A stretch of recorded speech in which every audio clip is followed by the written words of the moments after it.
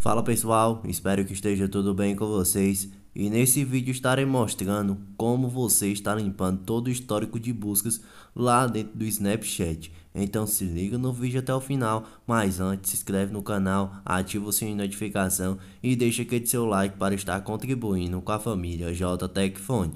Bom, vou estar vendo então o Snapchat aqui no meu dispositivo, logo em seguida venho diretamente para o meu perfil, aperto aqui em cima do lado direito onde vai ter as configurações.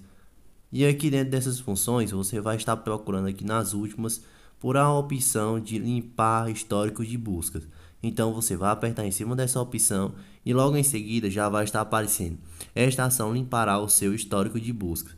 Você aperta em cima de OK e a partir desse momento já vai ter limpado aqui o seu histórico de buscas dentro do Snapchat. Então, a configuração bem básica que você está realizando dentro da sua conta do Snapchat, sem dificuldade alguma. E no mais, eu espero ter contribuído com mais essa dica aqui no canal. E até a próxima família JTech Phone.